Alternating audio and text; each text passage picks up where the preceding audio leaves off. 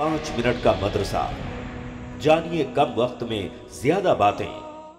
Aslam वबरकातुहू। Nadreen आप तमाम का इस्तकबाल है आपके अपने पसंदीदा प्रोग्राम पाँच मिनट के मदरसे में। हमारा आज का पहला मौजू है कुरान। अल्लाह ताला ने फरमाया व इदा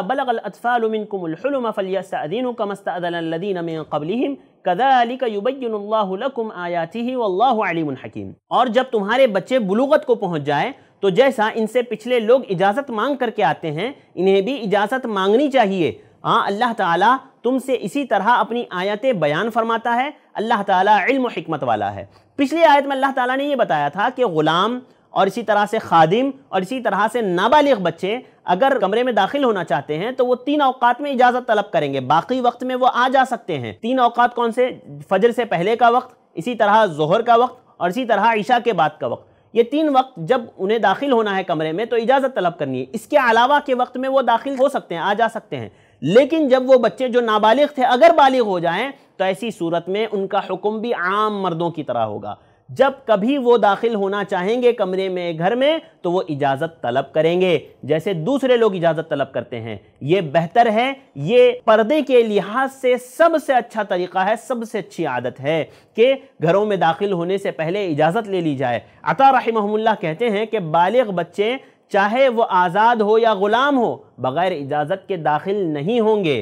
वो इजाज़त लेकर के ही दाखिल होंगे। इमाम जहरी रहमल्ला कहते हैं कि आदमी अपनी माँ के कमरे में भी दाखिल होने से पहले इजाज़त ले लें, इजाज़त तलब कर लें। ये शरीयत का तरीक़ा है, ये एक अच्छा अदब है, ये एक अच्छी आदत है जो मुसलमानों को इख्तियार करनी चाहिए। हमारे माहौल ये है ना, बच्चों के अंदर सलाम करने का मिजाज ख़त्म ही कर दिया है हमने। बस जैसे आते हैं बाहर से, बस घर में घुस जाते हैं। कोई सलाम नहीं, कोई दुआ नहीं कोई सामने वाले को पहले से बताना नहीं कि हम घर में दाखिल हो रहे हैं या कमरे में दाखिल हो रहे हैं। कभी कभार माँ बाप भी ऐसे करते हैं। हाँ उनको भी ये चाहिए कि वो समझें कि जब आ, उनका बेटा या बहू कमरे में अकेले होना तो माँ बाप को इस बात का ख्याल रखना चाहिए कि वो फ़ौरन कमरे में दाखिल ना हो जाए बल्कि दरवाज़ा खटखटाएँ या उन्हें इतला दें कि वो आ रहे हैं। ताकि वो अगर अपने छुपाने की चीज़ों को उन्होंने ज़ाहिर किया है तो वो उसको छुपा लें। हाँ वो उसकी हिफाजत करें। लिहाजा ये बहुत अच्छा है, ये बहुत अच्छा तरीक़ा है, ये बहुत अच्छा अमल है। देखिए, इसमें एक जगह बहुत कोताही होती है, वो ये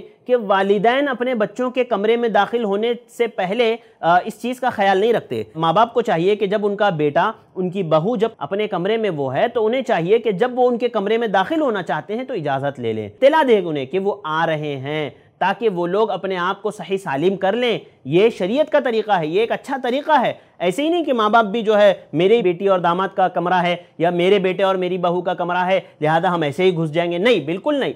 शरीयत इससे मना करती है। अच्छा तरीका, सही तरीका ये है कि आप जाने से पहले इजाज़त तलब कर लें। ये एक अच्छी आदत है और ये बहुत अच्छा है पाकी के लिहाज से और जो है शर्मगाहों की हिफाजत के लिहाज से। अच्छे आदत व अतवार के लिहाज से। लिहाजा तमाम मुसलमानों को इस आदत को इख्तियार करनी चाहिए। घर में हो या कमरे में हो, दाखिल होने से पहले इजाज़त ले लेना चाहिए। ना दिन चलते हमारे आज के दूसरे मौजू की तरफ़। हमारा आज का दूसरा मौजू है सुन्नत। सुन्नत में आज हम बात करेंगे इमाम इब्न क़य्यिम रहमहुल्लाह के कौल के ताल्लुक से। इमाम क़य्यिम रहमहुल्लाह फरमाते हैं, वलौ तुरिकति सुननु लिलअमली लतक़त्तअत सुननु रसूलिल्लाह सल्लल्लाहु अलैहि वसल्लम दरसत रुसूमुहा व आसारुहा। इमाम ने क़य्यिम रहमहुल्लाह फरमाते हैं, अगर सुन्नतों पर अमल करना छोड़ दिया जाए तो रसूलुल्लाह सल्लल्लाहु अलैहि वसल्लम की सुन्नतें पारा पारा हो जाएगी, ख़त्म हो जाएगी। उनके निशानात मिटा दिए जाएँगे और उनके आसार को निस्त नाबूद कर दिया जाएगा। यानी सुन्नतों का नाम और निशान मिट जाएगा अगर लोग सुन्नतों पर अमल करना छोड़ दे तो। लिहाजा मैं और आप सुन्नतों पर अमल करने वाले बने। याद रखिए, वो सुन्नतें जिन पर लोगों ने अमल करना छोड़ दिया है, अगर हम उस पर अमल करते हैं तो हमें सुन्नतों को जिद्दा करने का अजर मिलेगा। अल्लाह रब्बुल आलमीन बढ़ा चढ़ा करके अजर देने वाला है। लिहाजा मेरे और आपके अंदर हिरस होनी चाहिए सुन्नतों पर ज़्यादा से ज़्यादा अमल करने की। इन अगले दुरुस्त से हम लोग सुन्नतों पर कुछ बातें ज़रूर भी ज़रूर करेंगे। अब इसके बाद हम चलते हैं हमारे आज के तीसरे और आखिरी मौजू की तरफ़। हमारा तीसरा मौजू है अमल की फजीलत। अमल की फजीलत में आज हम बात करेंगे कि मिसकिनों और बेवाओं के साथ हसन सलूक करना कितना बड़ा अमल है। अल्लाह के नबी सल्लल्लाहु अलैहि वसल्लम ने फरमाया अस्साई अलल अरमिलति वल मसाकीनी व कल मुजाहिदी फ़ी सबीलिल्लाहि अविल नहार अल्लाह के नबी सल्लल्लाहु अलैहि वसल्लम ने फरमाया कि बेवाओं और मिस्किनों के काम आने वाला अल्लाह के रास्ते में जिहाद करने वाले के बराबर है या रात भर इबादत और दिन भर रोज़ा रखने वाले के बराबर। अल्लाह अकबर। अगर कोई मिस्किनों के साथ उसने सलूक करता है, आज हमारे यहाँ से ये मामला ख़त्म हो चुका है। मिस्किनों का हमें ख्याल नहीं होता। लिहाजा अल्लाह के नबी ने फरमाया कि अगर कोई मिस्किनों के साथ हुसन सलूक करता है अच्छा मामला करता है, बेवाओं के साथ अच्छा मामला करता है तो वो अल्लाह की राह में जिहाद करने वाले के बराबर है, या उस शख्स के बराबर है जो रात भर इबादत कर रहा है। पूरी रात अल्लाह की इबादत कर रहा है, पूरा दिन रोज़ा रख रहा है। उस शख्स के बराबर है। कितनी बड़ी फजीलत है। लिहाजा मुझे और आपको चाहिए कि हम इस अमल को इख्तियार करके इस फजीलत के मुस्तक बने। अल्लाह ताला मुझे और आपको नेक अमल करने वाला बनाए, बुरे अमाल से रुकने वाला बनाए। नादरीन, मुझे दीजिए इजाज़त। इन फिर मुलाकात होगी।